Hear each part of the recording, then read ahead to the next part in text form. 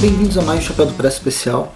No programa de hoje eu quero fechar o encadernado do Marvel Now, que a Panini demorou uma vida para publicar. Estou falando de Rio Bravo, do Gavião Arqueiro.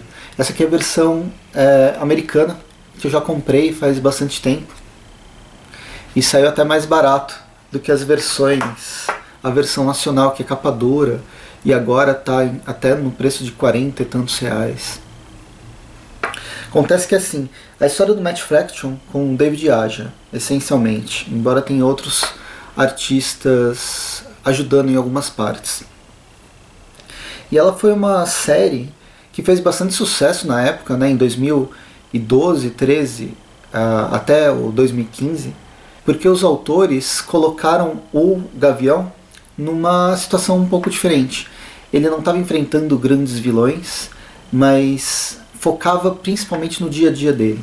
O segundo encadernado, então, que tem, acho que é a edição número 7, que é a história do Lucky, o cachorrinho dele, que é uma história só do, do cachorro, e aí ele conversa com outros cachorros em balões de fala que são simplesmente é, simbólicos, iconográficos, que chegou a ganhar, inclusive, o Eisner. Então, tem alguns experimentalismos e algumas fugas do, do, do comum de super-herói que foram bem interessantes.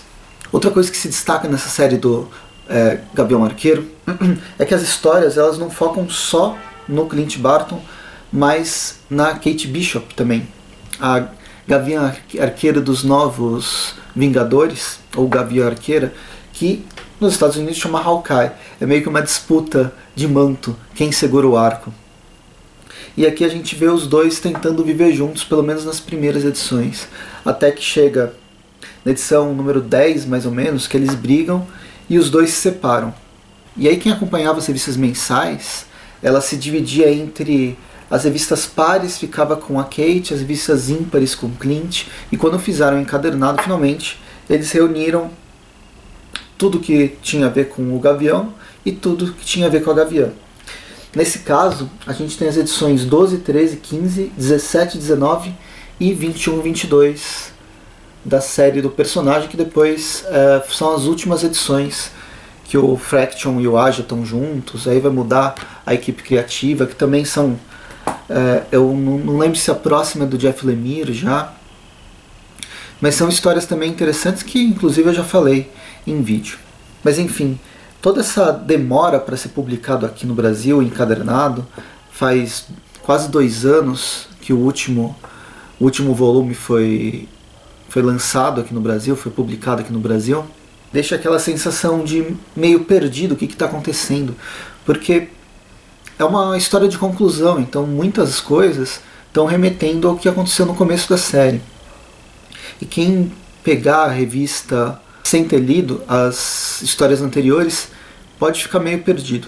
Mas basicamente é o Clint no seu prédio tentando defender a, a região da especulação imobiliária. E aí as histórias que a gente tem aqui são algumas edições pontuais, tipo essa primeira, na verdade a edição 17 foi transportada mais para frente para começar o encadernado, porque ela é bem é, despretensiosa e solta na, na revista. E tem, tem outros artistas, Cris Heliopoulos, com a Jodi Belair nas cores. Aqui o Clint está tá cansado, aí ele senta numa das vizinhas dele, né, que tem família e tal, e acaba dormindo ele e o cachorro. E aqui a gente tem uma história em quadrinhos. Na verdade, é uma animação dos Amigos do Inverno, que, bem, mais ou menos vai se mesclar.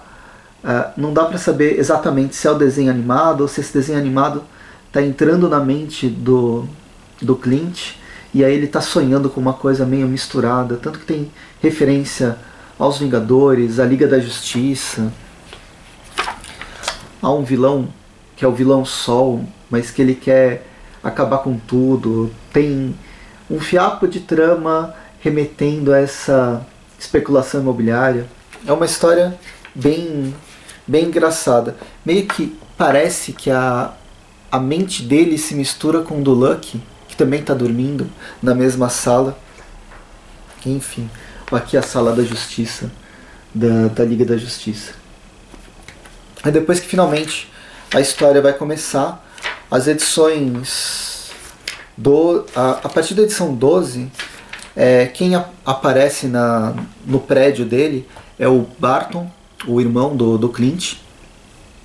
E eles têm um, um início meio conturbado, porque eles são irmãos, mas eles estão eternamente brigando. O Barton está sem dinheiro e precisa de ajuda, sempre assim. Mas no fim eles formam uma, uma aliança e é principalmente a dupla que vai é, desenvolver as histórias até o fim do encadernado. Principalmente quando eles têm que é, montar uma resistência contra esses vilões que querem destruir todos esses prédios nessa área que era uma área industrial de Nova York para construir um mega shopping. E aí, bem, esse aqui é um, é um plot que vem desde as primeiras edições, onde o, o Gavião Arqueiro está batendo nesses bandidos contratados pelos mega empresários para evitar que o prédio dele seja destruído e, inclusive, ajudar toda, todas as pessoas que moram em volta. Então a história se desenvolve nesse sentido.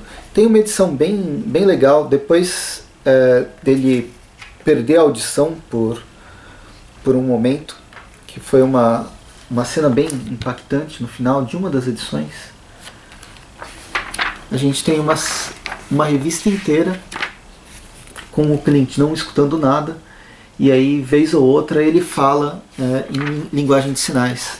Nem todas as linguagens elas estão traduzidas para a língua escrita, mas é uma história bem interessante, trabalhando com essas sequências mudas, onde vira quase uma, uma história de comédia dele com o irmão. Mas enfim, essa história, senão eu vou contar todo, todo o desenvolvimento e para quem quer ler não precisa saber o que, que acontece no final. Basta saber que tem algumas outras participações especiais, ele chega a falar com a, com a Jessie, também tem a Kate é, reaparece, mas bem, Rio Bravo ela fecha muito bem essa esse run do Match Fraction com David Aja. E eu acho que é o ponto mais alto do Gavião Arqueiro nesses últimos anos. Embora depois tenham tido histórias também muito bacanas seguindo nessa mesma linha. Uma coisa acho que vale a pena ressaltar é que toda essa, essa história meio o cotidiano do Gavião Arqueiro, ela vai influenciar algumas outras séries, é, tanto na Marvel quanto na DC, a partir de 2012, 2013. Então, eu acho que o Matt Fraction e o David Aja eles conseguiram é, fazer um marco de diferenciação das histórias comuns de, de super-heróis que a gente está acostumado e tal. Mas enfim, espero que tenham gostado do vídeo, curtam o vídeo, assinem o canal. É, Comentem aqui o que, vocês acham, se vocês já leram quando saiu na mensal do Capitão América Gavião Arqueiro, lá em 2013, 2014. Se vocês vão comprar, se vocês acompanham. Esse último encadernado sai no final de agosto, ou saiu no final de agosto, não sei quando que esse vídeo vai, vai pro ar. Mas de qualquer forma, comentem aqui que a gente conversa sobre o personagem. Espero que tenham gostado do vídeo, curtam o vídeo, assinem o canal, é, curtam o Chapéu do Presto lá no Facebook e, gente, e até, até o próximo. Bons quadrinhos.